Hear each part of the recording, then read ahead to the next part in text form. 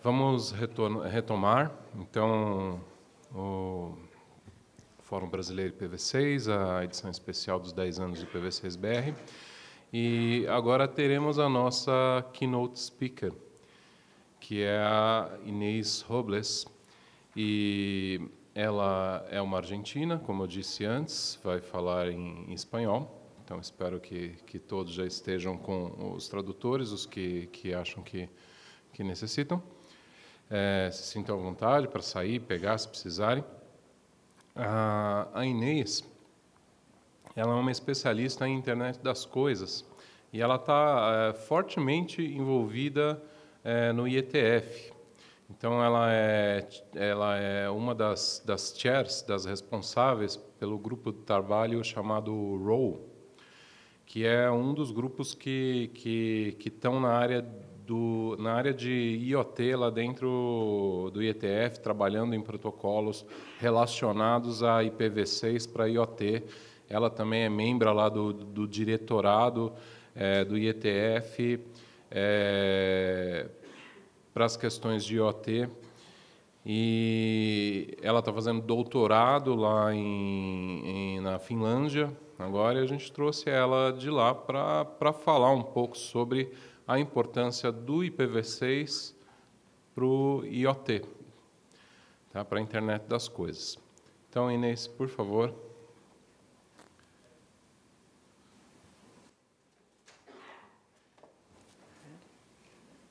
Eu gostaria de falar sobre IPv6 para Internet of Things em IoT. Hoje vamos ver diferentes temas. Número um, por que deveríamos migrar para IPv6? Qual é a situação atual? Vocês também já sabem disso. O que, que é IoT, Internet of Things, Internet das Coisas, como influi IPv6, que papel IPv6 tem no IoT, na Internet das Coisas, e o que vem a futuro, e depois perguntas e respostas porque deveríamos migrar para IPv6, já foi mencionado, em, em uma videoconferência por Ping Surf. Eu não sei se vocês conhecem ele, ele é considerado o pai da internet, que esteve desde o início construindo a internet. Ele diz nas suas palavras que IPv4 é uma versão experimental, é uma versão beta de internet e não achávamos que ia durar tanto tempo.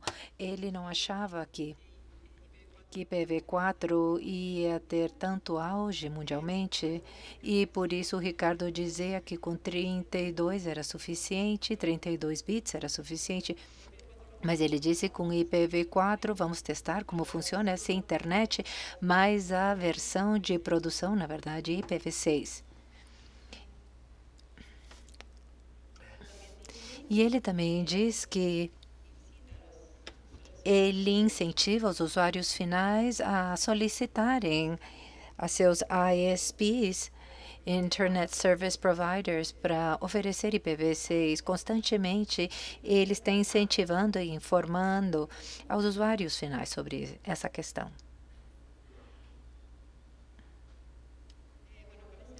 E qual a situação atual? Bom, aqui vocês têm a situação atual, internet mundialmente os dispositivos conectados crescem significativamente. Todo ano temos milhões e milhões de dispositivos que estão conectados na internet. Aqui, esses gráficos foram mostrados anteriormente e a, e a opção de PV6 também está aumentando. E como foi apresentado, o Brasil tem 24%, praticamente 25%, ou seja, está verde, isso é bom.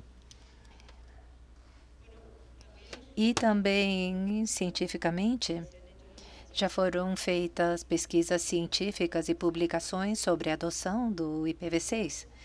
Aqui vocês têm uma publicação de 2017 recente que vai avaliar quais são os principais stakeholders e e como eles são afetados e, os, e pela adoção de IPv6 entre eh, eles mostram desenvolvedores de tecnologia de internet que são os fabricantes de switch, roteadores, depois os provedores de serviços de internet e também os provedores de conteúdo de internet, e depois teríamos os usuários finais, que são aquelas, ah, são as partes interessadas, os stakeholders, de forma passiva, e para cada um deles, os autores criaram um modelo.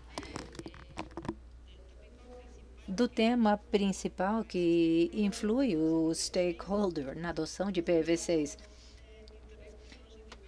para os desenvolvedores de tecnologia de internet, isso é baseado no lucro. Não no lucro. Esse que seria a qualidade. A qualidade do produto final. E, basicamente, a qualidade aumenta se aumentar o investimento e, e também aumenta o investimento quando aumenta a demanda do usuário. E, basicamente, a, a qualidade seria uma somatória do investimento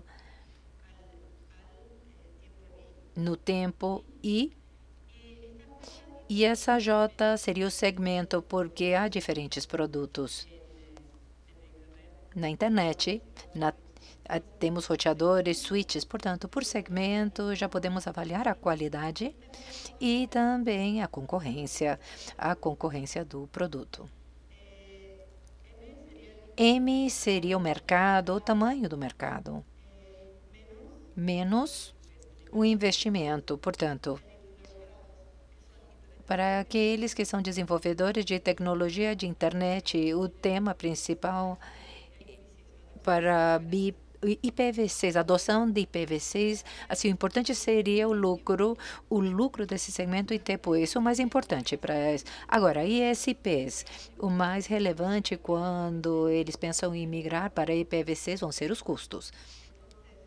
Portanto, avaliar os custos. Aqui temos NM. NM seria o tamanho do ISP no momento M. No momento I, e que bom, aumenta constantemente. E que seria um aumento constante. Depois, esse custo é inversamente proporcional a essa pi, fi. Fi mostra o avanço da tecnologia em IPv6, ou seja, a disponibilidade e que os produtos ofereçam IPv6. E depois, o custo também de oferecer IPv4. Quando eu tenho a possibilidade de oferecer IPv6, basicamente seria um modelo proposto para os provedores de serviço de internet, que seria o custo de migrar para o IPv6. E agora, para os provedores de conteúdo de internet, aqui temos uma publicação científica e ela mede o impacto da receita menos menos a perda de receita. E basicamente essa seria, esse seria o conteúdo que temos sobre IPv6 e delta seria o fator de impacto. A importância que os provedores de conteúdo de internet têm, porque vários deles são famosos, aqui alfa seria a receita por usuário. E depois a perda de receita quando, quando por exemplo, estou utilizando IPv4, IPv6, mas eu estou transmitindo a informação por IPv6 e depois o custo da infraestrutura de migrar.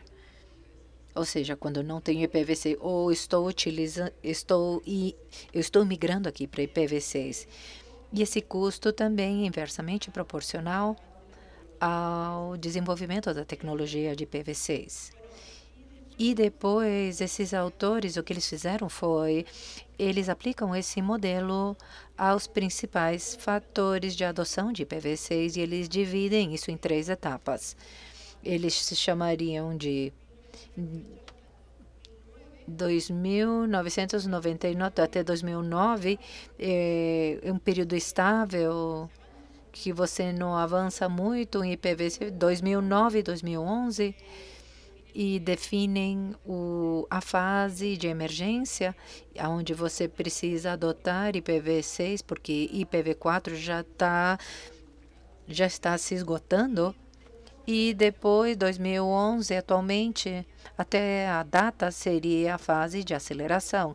E aqui podemos ver que nessas configurações, o que Internet Content Provider a adoção de IPv6 está aumentando. Essa é uma publicação que vocês podem procurar e essa publicação vai, dar, vai mostrar diferentes gráficos e vai explicar cada nível de avaliação desse modelo. Aqui temos outra publicação do ano passado. Essa publicação ela contém publicações de anos anteriores e adapta tudo isso à informação recente sobre a adoção do IPv6. Agora, ela considera 12 métricas.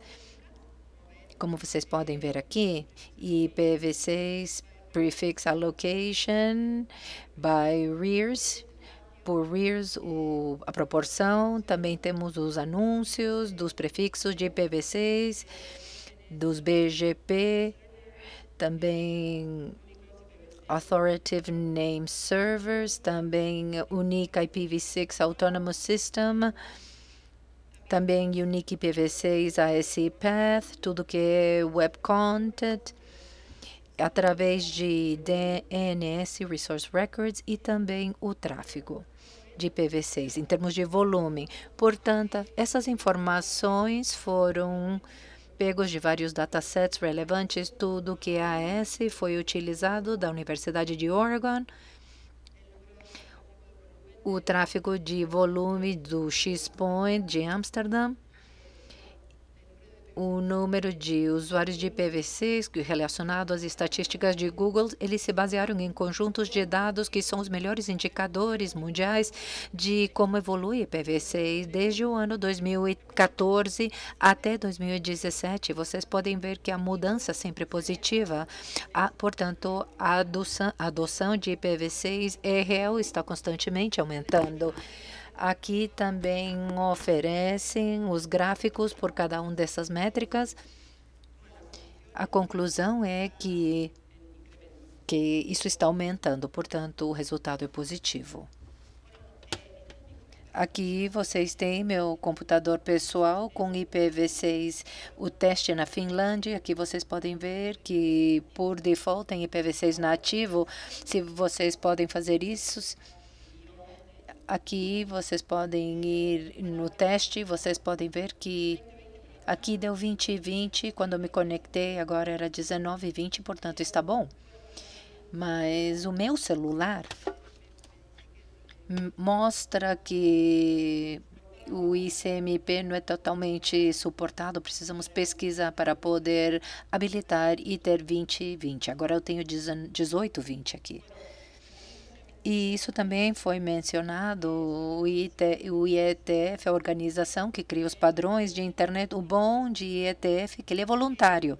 Portanto, eu incentivo, se vocês estiverem interessados em tudo que é criação de protocolos, que vocês se registrem nos mailing lists, tem vários tópicos nos quais vocês podem participar e a participação é gratuita aqui.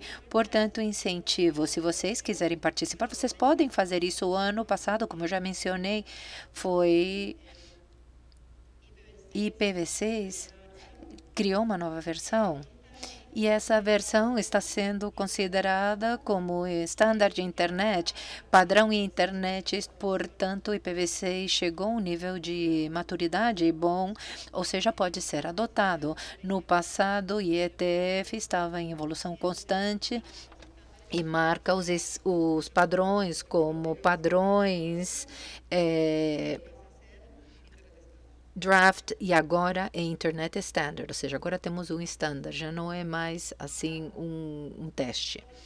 Qual seria o PV6 em Internet das Coisas?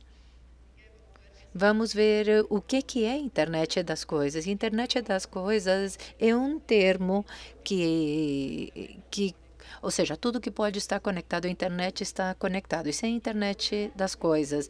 Isso envolve a 6A, qualquer coisa, qualquer pessoa, qualquer máquina, qualquer hora, qualquer lugar, Any service, o que você quiser em termos de serviço, você vai poder obter através disso em qualquer tipo de rede, any network. Então, isso seria a internet das coisas, seria a internet do presente, porque agora já temos muitos produtos no mercado que oferecem dispositivos inteligentes, portanto, são os dispositivos autônomos e eles tomam suas próprias decisões e eles se conectam à internet para poder enviar, enviar informação ou para fazer algum tipo tipo de gestão utilizando outros dispositivos. E aqui é uma previsão que dizem que em 2020 vamos ter 50 bilhões de dispositivos conectados na internet. Há várias previsões, mas todas estão nos bilhões de, de dispositivos conectados na internet. Isso 2020. A realidade, já temos essa realidade dos dispositivos conectados e há produtos no mercado que são Internet of Things. Portanto, em dois anos, provavelmente, vamos ter muitos dispositivos conectados, 50 bilhões milhões até 2020.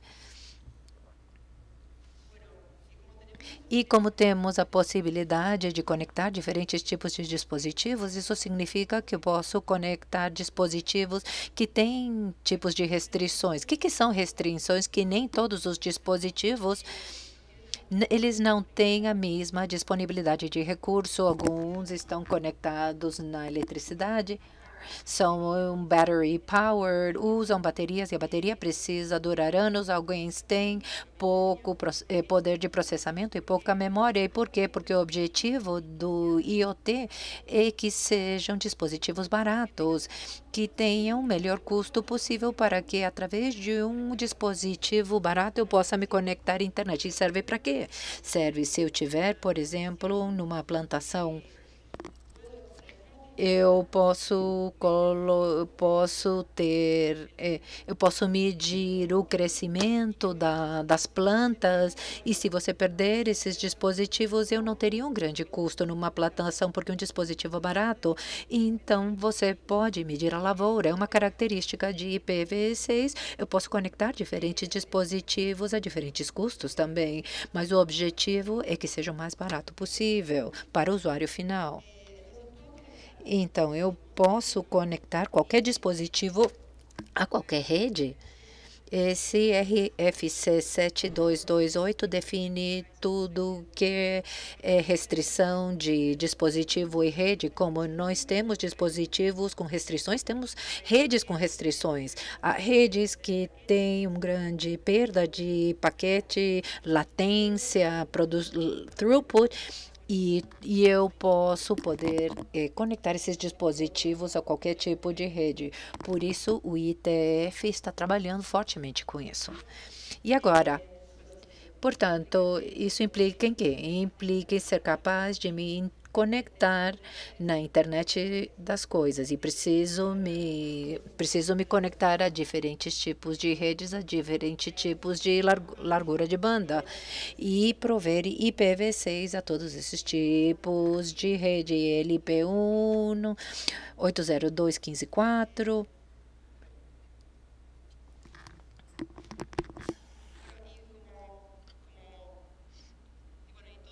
E tudo isso faz o quê? Eu posso conectar qualquer tipo de dispositivo, qualquer tipo de rede, qualquer tipo de alcance, e daí terei muitos novos modelos de negócio que antes não eram não eram pensáveis. As pessoas diziam: para quê?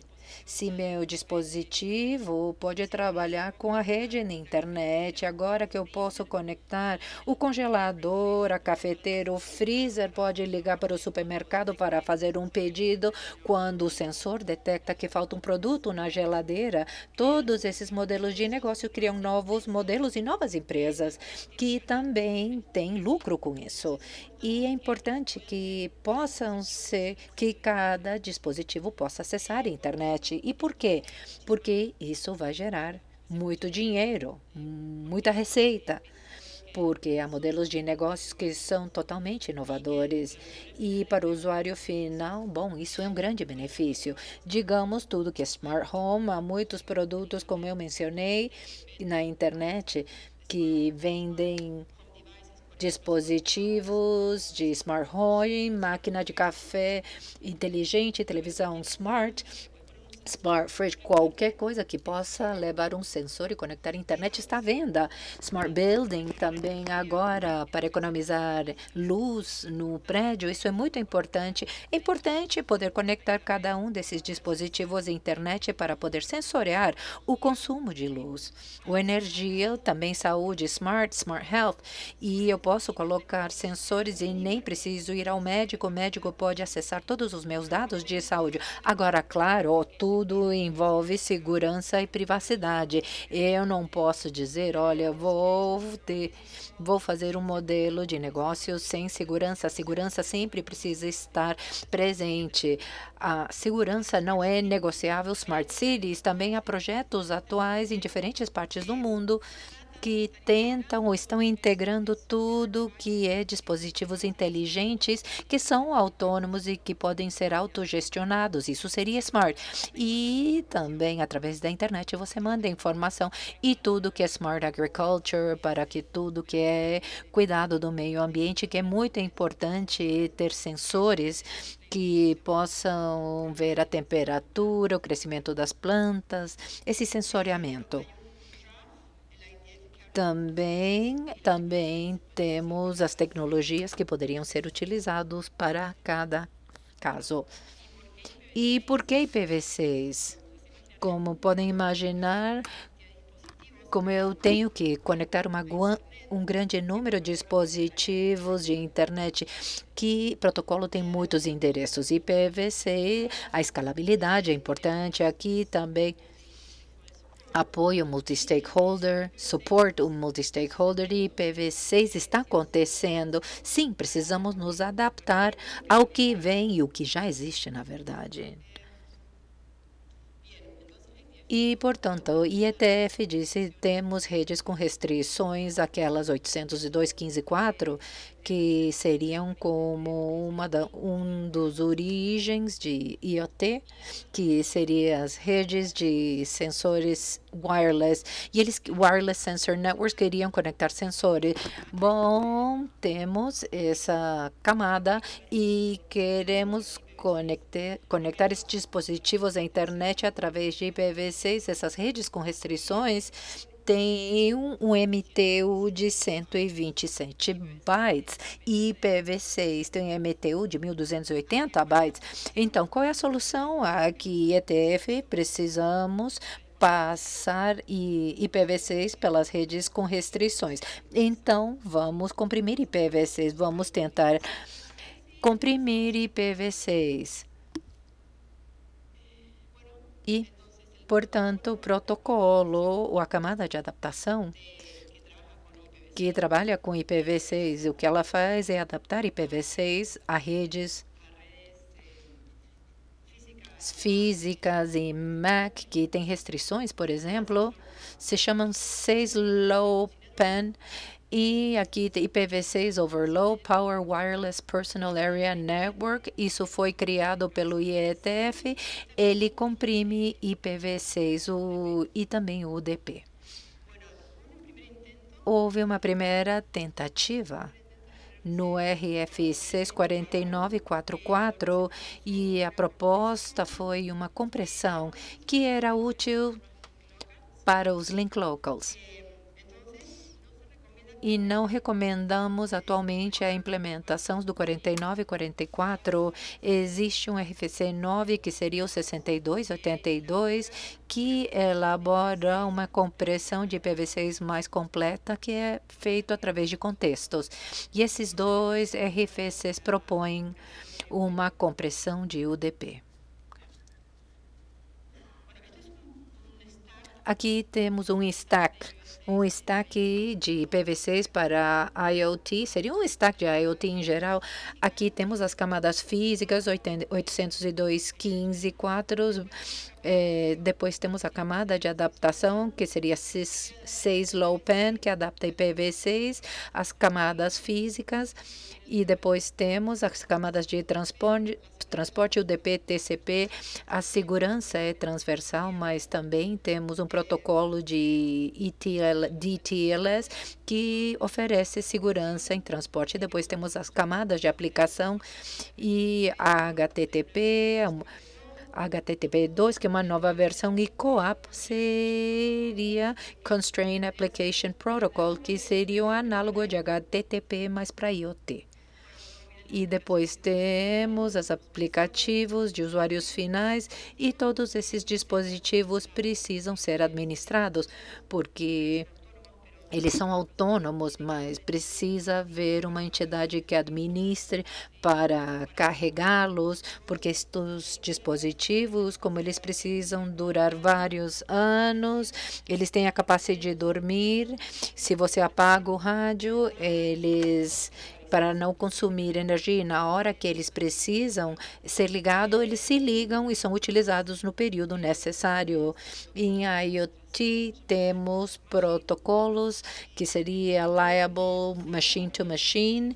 É simples, cada dispositivo seria um conjunto de objetos aqui. Cada objeto é um conjunto de recursos e os recursos seria o menor que eu tenho para administrar um endereço IP.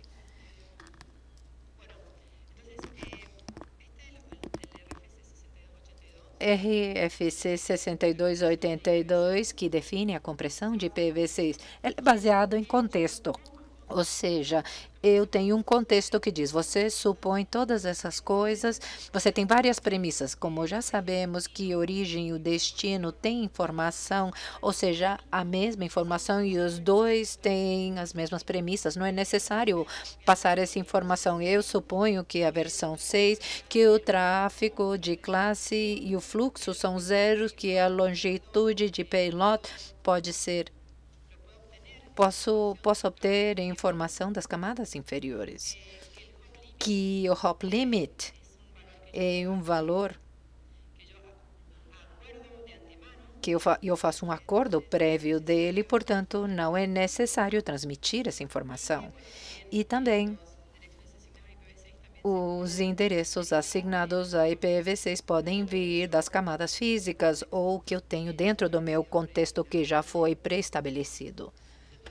Portanto, eu assumo todas essas premissas e aqui temos informação que posso pegar do cabeçalho IPv6. Como está integrado?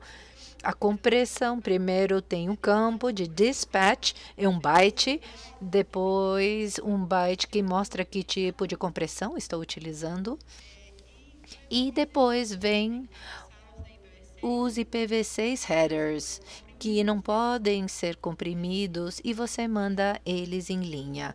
São dois ou três bytes, dois bytes para criar o comum quando é link local e os três bytes porque o RFC define um contexto zero, também define que você pode escolher o teu próprio contexto um byte mais para definir um contexto, mas o RFC não não diz como fazer isso. Está fora de escopo. Com dois bytes seria suficiente se estamos no contexto zero. Agora, para, para roteá-lo, o header aqui seriam 7 bytes. Um byte para o dispatch, um byte para identificar a compressão utilizada um byte para hop limit quando faço o roteamento, preciso diminuir o hop limit e dois bytes para o endereço de origem e dois para o destino, fonte e destino. O dispatch quando o RFC foi criado, o Dispatch mapeava, dire, mapeava diretamente o um método de compressão. Acredito que o ano passado um RFC foi criado para que o Dispatch, em vez de mapear um método de compressão, ele mapeava uma paginação. É como administração de memória que usa paginação. Aqui, basicamente, teríamos a mesma coisa. Se eu utilizar páginas aqui, por exemplo, 011, 011 me indicaria que estou utilizando esse método de compressão. Esses bits, que são XXX, são parte do LowPan IPHC. Vocês podem ver isso na página da Ayana. O que é comprimido, basicamente, esse byte seria 0, 1, 1 mostra o tipo de compressão que estou utilizando. Depois, dois bytes que indicariam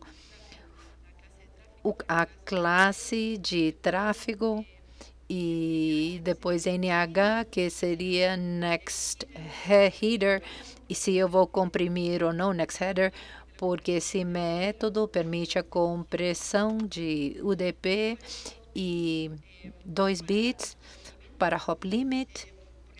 Aqui eu suponho que já tenho um hop limit específico. Se eu, como são dois bits, eu tenho quatro combinações. 00 mostra que o hop limit precisa ser transferido inline.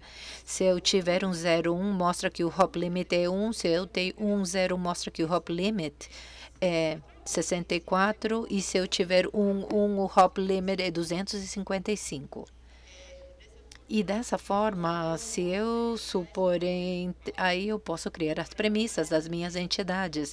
Aqui o seed seria Context Identifier Extension, que mostra que tipo de contexto estou utilizando. Se é zero, o contexto é zero. Se é um, estou utilizando outro contexto, mas RFC não especifica como fazer isso, isso para futuro. E depois a mesma coisa, Source Address Compression, mostra que temos um bit que mostra se estou utilizando stakeless compression ou stateful compression. E source address mode mostra que tipo de compressão estou utilizando e como vou criar o endereço de IPv6. Isso é formado por 815.4, um de 64 bits e um de 16 bits. Tem dois endereços. Portanto, temos essa informação e aí você constrói o endereço de origem a mesma coisa seria para o endereço do destino e também o RFC, ele habilita a compressão de multicast e mostra que se, se o endereço de destino é multicast ou não. E basicamente tudo isso seria o contexto que eu utilizo, que seria o contexto zero, que é definido no RFC, para comprimir IPv6. E isso foi elaborado em IPv6 em 2012, mais ou menos.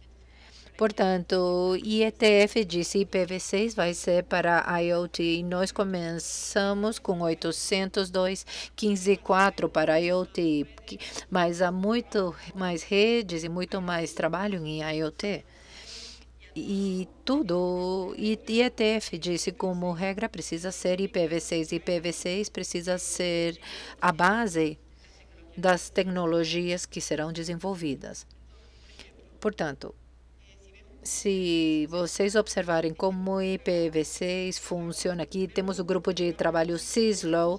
Primeiro tínhamos CISLO PAN para para integrar IPv6, as redes de 802.15.4, mas outras redes que apresentam restrições. Esse grupo novo que se chama IPv6 over Networks of Resource Constraint não tentam integrar IPv6 a outros tipos de Physical IMAC, porque todos têm um capítulo que mostra que requisitos ou que características o grupo de trabalho vai se focar como IPv6 eh, e utilizam IPv6 como regra.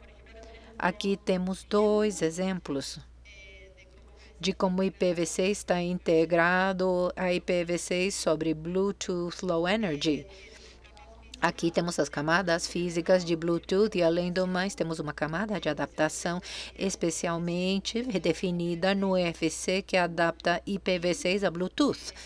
E também aqui para o que é NFC, Near Field Communication, eles têm a sua própria camada de adaptação para adaptar IPv6 a esse tipo de tecnologia. E o grupo também também trabalha com outras tecnologias adaptadas a IPv6. Qual o papel? Com o meu grupo de trabalho que trabalha com roteamento de IoT e o Roll desenvolveu o protocolo Ripple que aqui temos os nodos e aí daí você transmite a informação e o Charter mostra que o trabalho é feito como base no IPv6, seria o stack de Ripple. Mencion, aqui temos IPv6 Sixtish,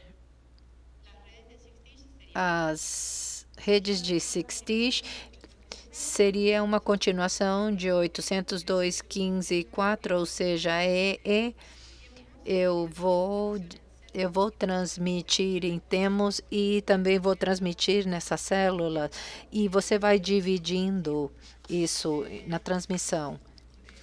Isso básica seria casos industriais, seria de utilização industrial.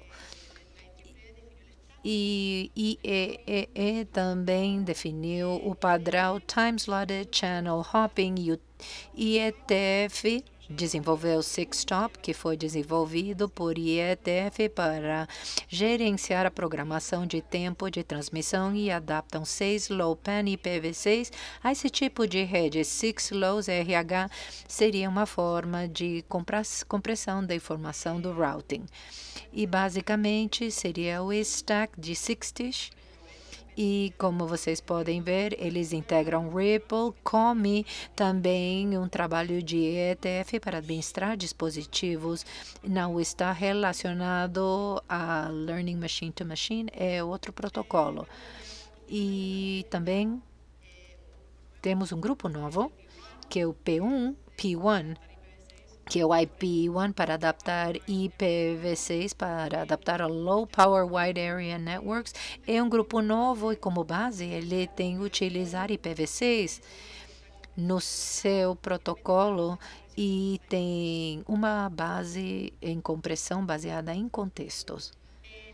Na Europa também há um grande auge em adoptar IPv6 e um projeto, a mencionei, mencionei IoT 6. Bom, já foi finalizado, mas o trabalho continua em Sixtish, nesse grupo de trabalho. O que eles fazem é avaliar o IPv6 no IoT e criar modelos. Nessa página de internet, vocês podem ver a informação e também os entregáveis, os relatórios são todos públicos, a informação pública. E aqui temos uma arquitetura de alto nível que eles têm e basicamente integram tudo que é legacy devices com, que lidam com IPv4 ou os dispositivos que não utilizam IPv6 e eles são in, integrados através de translators de IPv6 eles oferecem serviços de IPv6 em todo tipo de internet. Aqui vocês têm um modelo para integrar todo a IPv6. E também criaram um manual para as pequenas e médias empresas de como adoptar IPv6 e um dos seus capítulos seria converse com seu ISP, incentive o usuário final a entrar em contato com o provedor de serviços de internet e que solicitem que eles ofereçam IPv6 à sua empresa. Na Europa também estamos incentivando e informando os usuários finais para que eles peçam IPv6. E o que vem? Bom, o que vem para no futuro? Gartner é uma empresa que elabora, cria relatórios, faz previsões com relação a IoT. De acordo a Gartner, eles dizem preparem-se a fazer negócios com os dispositivos, porque os dispositivos serão os seus próximos clientes e, portanto, vocês precisarão de IPv6. Isso é tudo e obrigado. E precisamos ficar conscientes da adoção do IPv6. Muito obrigada.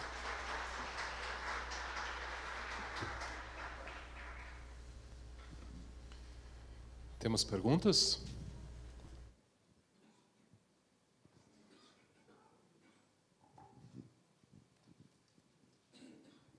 É, quais sistemas operacionais trabalham com esse protocolo comprimido? É, bueno, há muitos open source. Um muito forte seria Riot.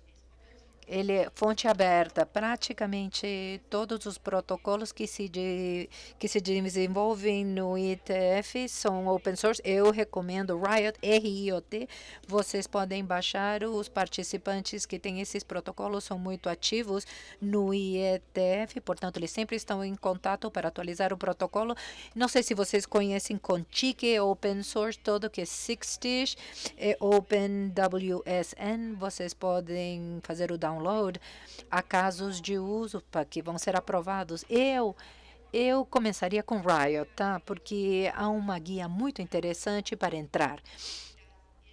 E são grupos abertos, portanto, você pode participar do mailing list e perguntar. E são pessoas muito gentis que sempre estão dispostas a ajudar, porque tudo isso é um trabalho voluntário. Algumas empresas pagam mais os que participam, fazem um trabalho voluntário e são pessoas com muita vontade de ajudar. Obviamente, claro, você precisa ler as guias, mas o que você não achar nas guias ou na ajuda, aí você pode perguntar e não há nenhum problema, tá? Muito obrigada.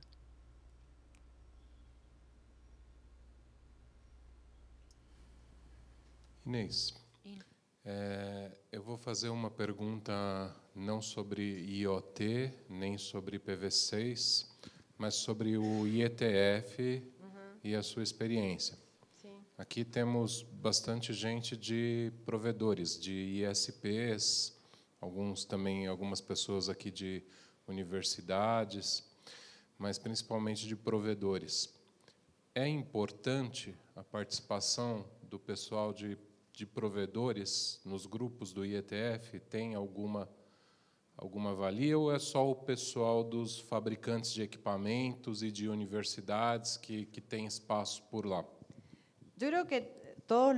Acredito que todos os stakeholders da internet precisam participar do IETF porque é um trabalho global e quando você participa, você sabe sobre as últimas informações está relacionado à internet. Se você participa, você tem a informação mais recente, um grupo aberto, todas as empresas participam, Google, as que você possam imaginar.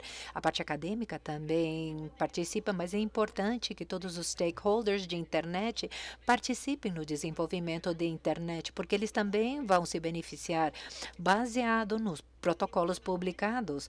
É importante que se se você ver uma falha ou uma melhora na internet, você possa fazer essa proposta.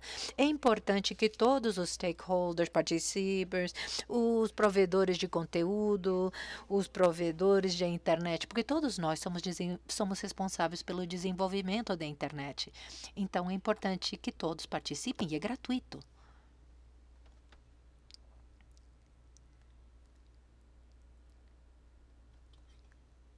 Que eu não he compreendido.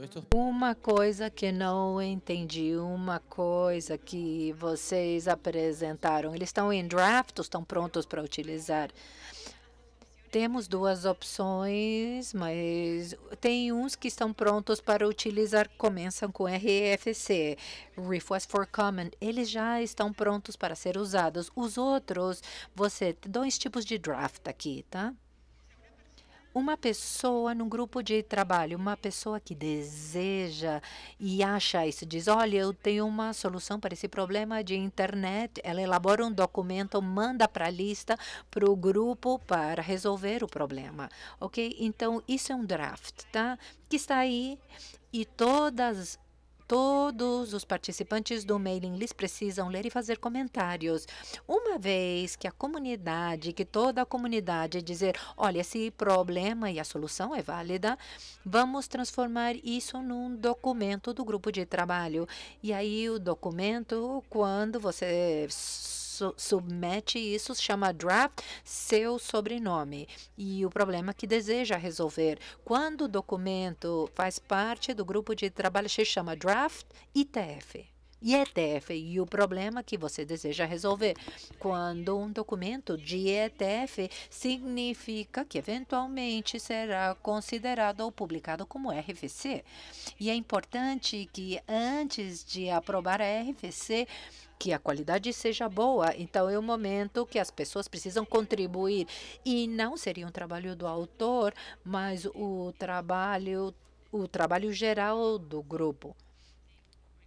Qualquer pessoa poderia mudar o documento, mas por respeito deixamos isso encarregado do autor. Quando diz draft e ETF, há muitos para propor o RFC, fazem a implementação, dizem implementei esse problema, veja a solução. E então, baseado nesse resultado, você faz as melhoras, as aprimorações. RFC mostra que você já pode publicar e draft que, e draft que está em processo. E hoje há soluções comerciais que utilizam a nossa RFC que estão prontos. IP, sim, claro. Sim, claro. Por exemplo, Cisco utiliza versões de Ripple em alguns produtos, não exatamente RFC, mas utilizam algumas versões.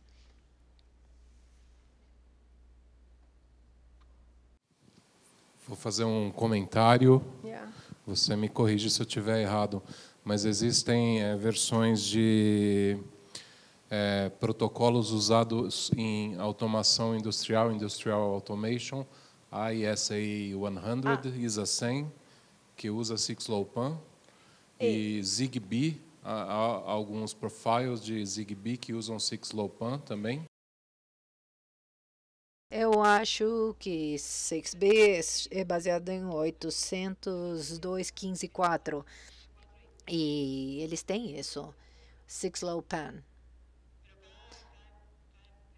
Mas cada implementação é específica Alguns são standard compliant, alguns não. RVC mostra. Quando você tem um RVC, é importante se as pessoas utilizam, mas se você publica e ninguém usa, é como, nada, como se nada, né? Nem vale a pena, né? Então precisa ser usado. É, bom dia. Bom dia. É, quais os maiores projetos de é, IoT que você conhece hoje em dia e número de dispositivos envolvidos? Por exemplo, sensores. Utilizam Raspberry Pi, Mica 60 está muito conectado ao Open Mode, que também a empresa, essa empresa trabalha no IETF, outros sensores que são Dresden Mode da Alemanha, Dresden Modes da Alemanha, há muitos, tá?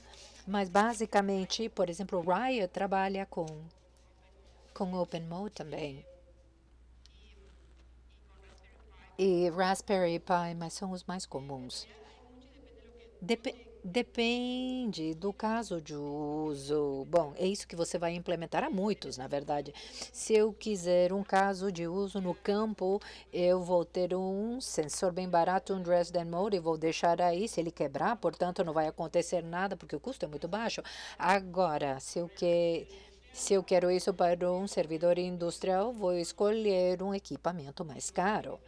Então, então não é tão com tanto constraint, tanta restrição, vai depender do seu caso de uso. Ah, dessa forma, dependendo disso, você vai criar a sua rede e os dispositivos que vão se conectar na rede. É, a minha dúvida é mais assim para saber quais os grandes projetos e ah, desenvolvimentos hoje em dia. Projetos de IoT?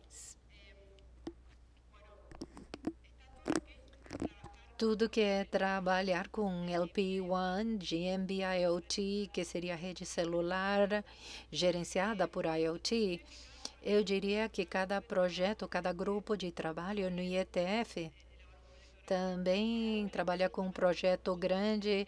Eles estão agora trabalhando com Semantic a semântica e interoperabilidade entre dispositivos. Isso é um projeto grande. Obter a interoperabilidade entre diferentes protocolos, diferentes dispositivos e redes. Esse, é um projeto que está em constante evolução e é muito ativo. A IETF tem um grupo de pesquisa que é baseado que um dos objetivos é interoperabilidade, temos Siemens participando, Oracle também participa. Outro projeto é Web of Things. Eu poderia acessar meus dispositivos por um browser é, é, é, é desenvolvido por W3. É, então, eu posso conectar meus dispositivos através do browser. Esse é um trabalho novo e importante que também está no IETF, mas é criado por W3C, que o básico de Web of Things é um, é um job description por propriedades, ações e eventos. E isso é publicado. Eu vou expor isso através do browser e as pessoas, através do browser, podem mudar os dispositivos, Web of Things, interoperabilidade, interoperabilidade e segurança. Segurança é importante.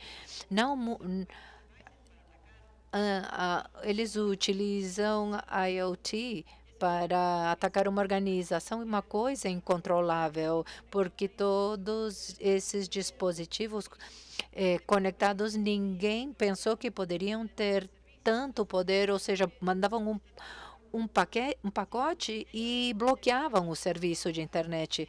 Eh, há vários projetos na Europa, mas os temas seriam isso: interoperabilidade, segurança, segurança é um tema com o qual se trabalha continuamente, porque esses novos modelos de negócios trazem novos desafios de segurança que você precisa cobrir, porque há casos de uso que você jamais teria pensado, então a vulnerabilidade que você não pensou nesses casos. Então acredito que os grandes projetos abordam essa, essas questões. Bom, é, estamos já com, com o tempo esgotado.